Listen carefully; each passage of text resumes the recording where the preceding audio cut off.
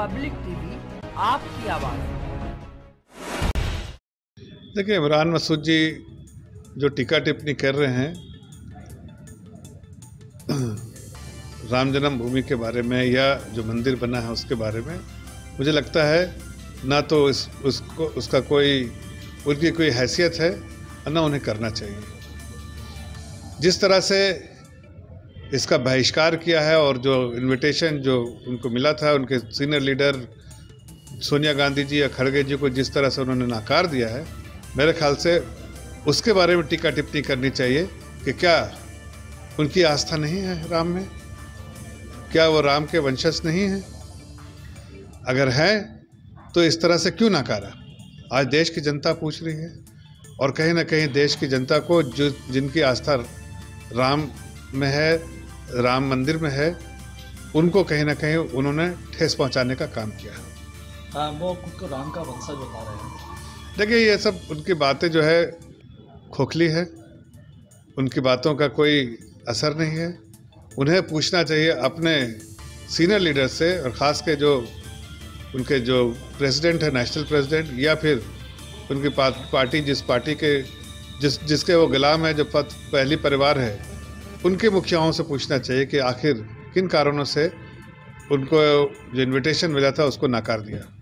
Sir Mallikarjun खड़गे की तरफ़ से अभी एक बयान आया है जिस तरह से उनकी पार्टी में लगातार निमंत्रण वापस करने को लेकर हलचल चल रही है, बयानबाजी चल रही है आपस में। वो कह रहे हैं कि पार्टी के खिलाफ जाने की ज़रूरत नहीं, नाराज़गी ना जताए, सब राम के ही सब हम भगवान की में आस्था रखते हैं जा कर के लोगों को ये समझाएँ। और वो बीजेपी का पूरा प्रोपोगेंडा बता रहा है, कह रहे हैं कि ये बार बार एक ही सवाल हमारे, हमें, हमसे पूछना, हमें टारगेट किया जा रहा है। देखिए, ये तो डैमेज कंट्रोल करने की बात है। हकीकत वो भी जानते हैं कि उन्होंने अपमान किया है। जिनकी आस्था राम मंदिर में है, उनका अपमान करने का में करने में कोई कसर नहीं छोड़ा है। ऐसे में वो डैमेज कंट्रोल करने की कोशिश कर रहे हैं, लेकिन जब वो निमंत्रण वापस कर रहे थे, तभी उन्हें सोचना चाहिए था कि लोगों की आस्था, चाहे उनके पार्टी के लोग होंगे ज़ाहिर उनके पार्टी के लोगों की भी राम में तो आस्था है ना। राम मंदिर में आस्था है। उनके आस्था को कहीं ना कहीं ठेस पहुँचाने का काम खड़गे जी ने भी किया है, सोनिया गांधी जी ने भी किया है, और परिवार के बहुत सारे लोगों के साथ जो सीनियर लीडर्स बहुत सारे कांग्रेस के कांग्रेस के के लीडरों ने किया है और इसका जवाब जो है जनता ही देगी। अखिलेश यादव कह रहे हैं कि स्वामी विवेकानंद के जो शिक्षा है उससे जो है बीजेपी भटक गई है और कहीं ना कहीं बांटने की नीति पे चल रही है। उनसे तो ये कहिए कि एम वाई के अलावा कुछ और डेफिनेशन उनको मालूम है? ये जिस दिन ये डेफिनेशन वो भूल जाएँगे उनकी पार्टी भी ख़त्म हो जाएगी और जनता उनको ये डेफिनेशन ज़रूर भुलाएगी। इसलिए कि जनता समझ चुकी है अपने अपने लिए, अपने परिवार वालों के लिए। सिर्फ़ ये इस्तेमाल करते हैं, समाज को बांटते हैं, समाज में कहीं ना कहीं लोगों को गुमराह करते हैं। अब समाज भी समझ चुका है कि एक ऐसी सरकार है जो जनता के हित में, प्रदेश के हित में और देश के हित में काम करती है और एक ऐसी सरकार है, रही है पुरान, पहले जो सिर्फ़ परिवार हित में काम करते है। जनता समझ चुकी है इसका सबक इनको मिल रहा है। प्रमोद कृष्णन की तरफ़ से भी एक बयान आया है कांग्रेस के नेता हैं वो अपनी पार्टी के खिलाफ खड़े हो रहे हैं। वो कह रहे हैं कि जिस तरह से निमंत्रण वापस करा है ये कहीं ना कहीं गलती है अपनी भूल सुधार लेनी चाहिए।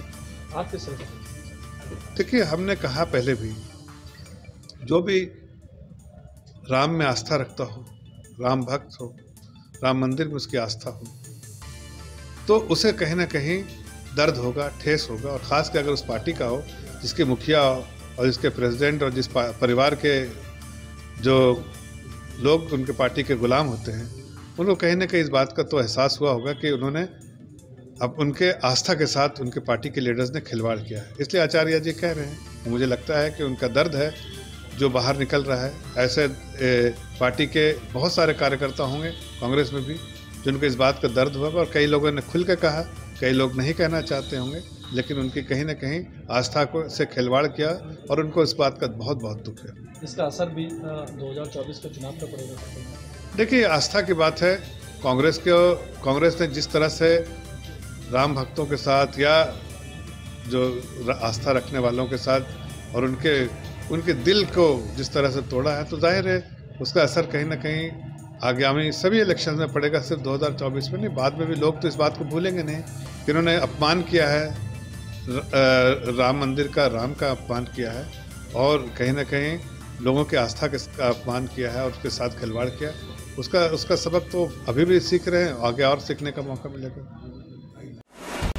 पब्लिक टीवी आपकी आवाज़।